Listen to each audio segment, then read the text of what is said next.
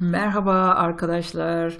Korona sebebiyle tedirginlikler artmaya başladı. Gönderdiğiniz mesajlardan, yorumlardan bunu anlıyorum. Hatta ne yapalım? Almanca öğrenmeye devam edelim mi? Almanya'ya gidebilir miyiz? Almanya'da okuyabilir miyiz? gibi sorular geliyor. Kıyamet düşüncesi olan arkadaşlarımız da var. Ben de bu konuda düşüncelerimi size aktarmak istiyorum bu videoda. Umarım toparlayabilirim. Biraz derin ve dağılması kolay bir konu. Benim de elimde kristal bir küre yok. O yüzden tahminlerde bulunuyorum. Bunlar gerçekleşebilir, gerçekleşmeyebilir de. Ama her birinize doğru soruları sormaya çalışmanızı tavsiye ediyorum. Bununla ne kastediyorum? Bunu anlatmaya çalışacağım. Kıyamet fikri insanlara neden bu kadar heyecanlandırıyor? Sadece korkuyla veya gizemle açıklayabilir miyiz? Hayır. Kıyameti sadece yıkım olarak düşünürsek cevabı bulamayız. İnsanlığın binlerce yıllık zihin tarihine göre kıyamet aynı zamanda yeni ve tertemiz bir başlangıçtır. Sanıyorum bazılarımızın içinde işte bu yeni ve tertemiz başlangıcın özlemi var. Globalleşme ile dünyada bazı şeylerin pek de iyi olmadığı, iyi yönde ilerlemediği hissi geldi, içimize oturdu sanıyorum ve bu sebepten yeni bir başlangıç, temiz bir başlangıç, farklı bir başlangıç e, isteyen, hisseden, bu duygulara sahip olan arkadaşlar kıyamet fikrine sarıldılar. Tabii ki korona bir kıyamete falan sebep olmayacak ama dünyaya da bazı değişikliklere sebep olabilir. Hatta değişikliklerin yani zaten hala hazırda beklemekte olan değişikliklerin daha hızlı gelmesine sebep olabilir. Bununla ne kastettiğimi açmaya çalışacağım. Öğrenme, yaşama, çalışma alışkanlıklarımıza ne oldu? Korona epidemisi başladığından beri Çocuklar sınıflara gitmek yerine dijital ortamda, sanal ortamda öğreniyorlar, eğitim alıyorlar. Dostlarımızla, arkadaşlarımızla, akrabalarımızla sanal ortamlarda buluşup görüşüyoruz ve çalışma alışkanlıklarımızda da değişiklikler oldu. Tabii ki her çalışanın hayatı değişmedi ama ofis ortamında çalışanlar genelde ofislerini evlerine taşıyabildiler. Tüm bunların ne anlama geldiğini epideminin sonunda göreceğiz. Bu sonuçlara mukabil yapılacak değişikliklerde, iş ortamındaki değişikliklerde göreceğiz, anlayacağız. Şimdi her birimiz çok büyük bir deneyin e, bir parçasıyız belki ve bu deneyin nasıl sonuçlanacağını deney bittikten sonra hayatımıza etkilerini bir süre sonra görmeye başlayacağız diye düşünüyorum. Global dünyanın sonu olur mu korona? Sonu olur diyenler var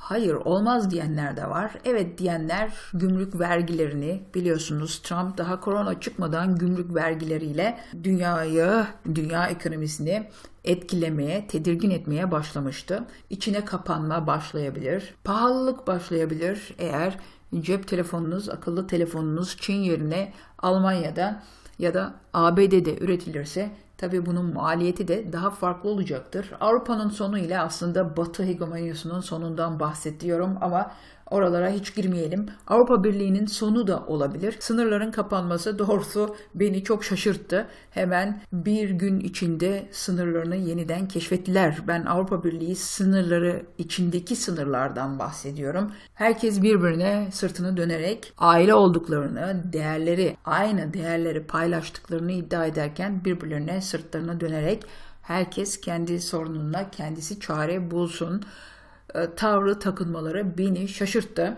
Hayır, tanıdığımız dünya, bildiğimiz dünya, global dünya olduğu şekliyle devam eder ve hatta belki daha da bütünleşir, daha da birbirimize bağlanırız. Pandemi sayesinde aslında sınırları kapatmanın pek bir anlamı olmadığını da görebiliriz. Sınırları kapatmaktan daha çok yerel yönetimlerin aldığı kararlar yani sokağa çıkmayın, e, aranıza 2 metre mesafe koyun gibi önlemlerin pandeminin yayılmasında daha faydalı olduğunu düşünüyorum. Yani ortalık durulduğunda karar alıcılar da sınırları kapatarak, duvarlar örerek hiçbir yere gidemeyeceğimizi anlayacaklardır kooperasyonun, işbirliğinin daha faydalı olduğunu, hem refahı arttırdığını hem de çözüm bulmada, sorunlara çare bulmada daha faydalı, daha etken olduğunu göreceklerdir diye düşünüyorum.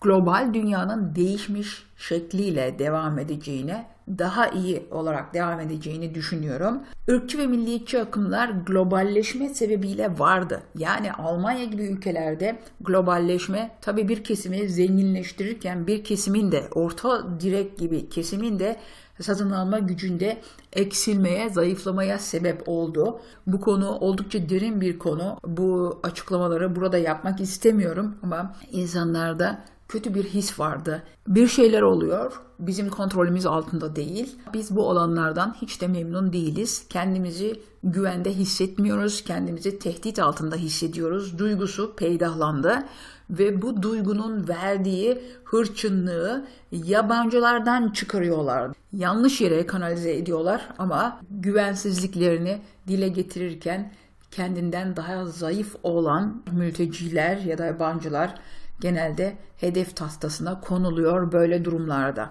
Maalesef bu sadece Almanya ile sınırlı değil. Biliyorsunuz Türkiye'de de maalesef e, vuku buluyor. Hatta medyada bunların temsilcileri var. Ama dünya tarihi de aslında bu hikayelerle dolu.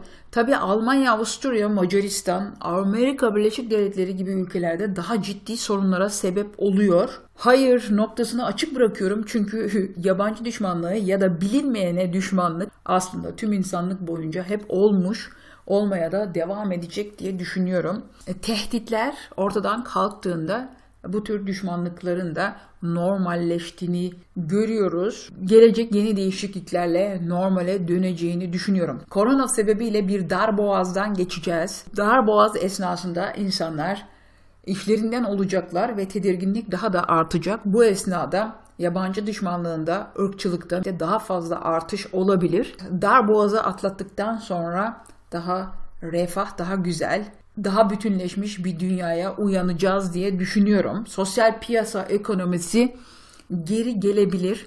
Yani globalleşme, globalizasyon dediğimiz küreselleşme az önce de ifade etmeye çalıştığım gibi bir gruba çok yaradı. Özellikle üreten, şirket sahibi, zengin gruba çok yaradı. Orta direğe mensup insanlara da bir tehdit oluşturdu ya en azından algı oluşturdu. Bunun değişmesi gerekiyor. Korona buna sebep olabilir ve globalizasyon yerine glokalizasyon yani hem bir taraftan dünya ticareti gümrüklerin düşürülmesiyle zenginliğin, refahın tüm dünyada artması hem de lokal olarak sadece bir gruba değil herkesin düşünüldüğü ben yerine biz denen çevremde burada Frankfurt'ta ne oluyor, Berlin'de ne oluyor sorusunu sormak, insanlar nasıl yaşıyor, neyi tehdit olarak görüyorlar bunları görmek ve bu zenginlikten, e, refahtan herkesin pay almasını sağlamak olabilir. Globalizasyondan sonra gelecek glokalizasyon adımı.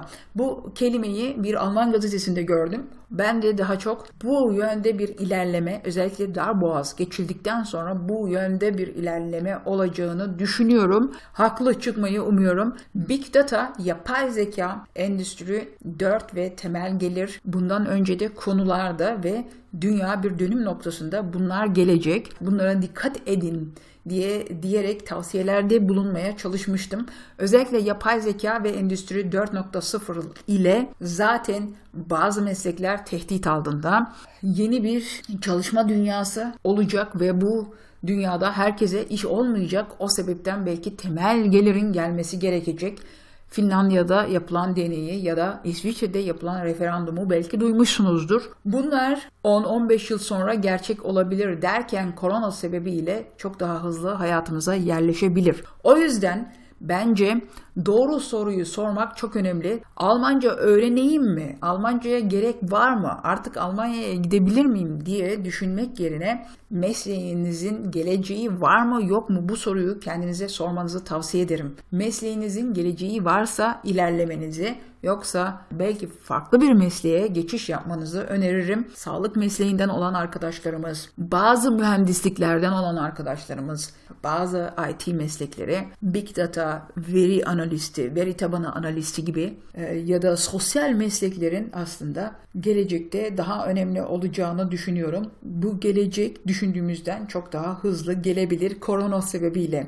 Yani her krizde bir şans var. Doğru soruları sorarak şimdiden kendinizi bu geleceğe hazırlamanızı tavsiye ederim. Özellikle öğrenci arkadaşlar için. İş arayanlar için de sağlık mesleğinden olanlar daha da size ihtiyaç var. O yüzden hazırlıklarınıza devam etmenizi tavsiye ederim. Başvurularda bulunmanızı tavsiye ederim. Ve yine okumak için Almanya'ya gelmek isteyen arkadaşlar da siz de Almanya'ya okumak için gelebilirsiniz. Koronanın buna engel olacağını sanmıyorum. Tabii yine metal bölümünde bir çalışan için iş bulmak Almanya'da bu dar boğazda zor olabilir. Tesisatçı için, kalorifer tesisatçısı için bir fayans döşeyicisi için zor olmayabilir. Hazırlıklarınıza devam etmenizi, iş başvurularında bulunmanızı tavsiye ederim. Umarım bu krizi kendiniz için bir şansa çevirebilirsiniz. Her birinize iyilikler, kolaylıklar temenni ediyorum. Yollarınız açık olsun. Bir dahaki videoda buluşmak üzere. Hoşçakalın.